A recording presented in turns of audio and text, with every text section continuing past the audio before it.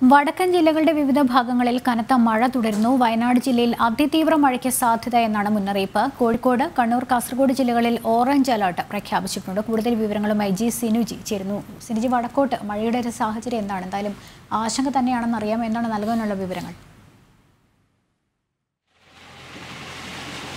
ലക്ഷ്മി രാവിലെ ഒന്ന് മഴ കുറഞ്ഞു നിൽക്കുകയായിരുന്നെങ്കിലും കോഴിക്കോട് ജില്ലയിൽ ഇപ്പോൾ മഴ ശക്തി പ്രാപിച്ചിരിക്കുന്നു. കിഴക്കൻ മേഖലകളിൽ കനത്ത മഴയാണ് പെയ്തുകൊണ്ടിരിക്കുന്നത്. അതുകൊണ്ട് തന്നെ പുഴകളും നദികളുമെല്ലാം കരകവിഞ്ഞൊഴുകുന്ന ഒരു അവസ്ഥയിലേക്ക് മാറുന്നു റോഡിന്റെ താഴ്ന്ന പ്രദേശങ്ങൾ അതായത് വെള്ളം കയറുന്ന സ്ഥലങ്ങളിലെല്ലാം തന്നെ ആളുകളെ മാറ്റി പാർപ്പിച്ചുകൊണ്ടിരിക്കുകയാണ് ദുരിതാശ്വാസ ക്യാമ്പുകളും കൂടുതലായി തുറന്നു. വയനാട്ടിലും മഴ ശക്തി പ്രാപിക്കുകയാണ്. കണ്ണൂർ ജില്ലയിലും കാസർഗോഡ് ജില്ലയിലും മഴ കനത്ത് തുടങ്ങി.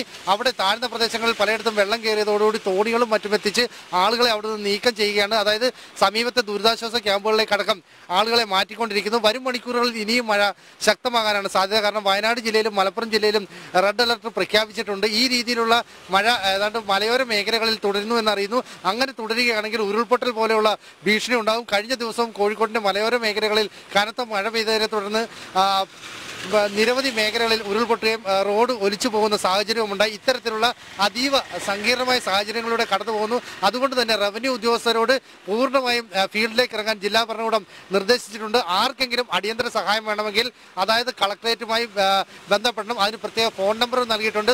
ഈ രീതിയിൽ മലബാറിൽ വലിയ ആശങ്ക ഉയർത്തി മഴ ശക്തി പ്രാപിച്ചുകൊണ്ടേയിരിക്കുകയാണ് ഈ വയനാട് ജില്ലയിലും കണ്ണൂർ ജില്ലയിലുമാണ് ഇപ്പോൾ ഏറ്റവും അധികം മഴയെന്നാണ് ലഭ്യമാകുന്ന സൂചനകൾ.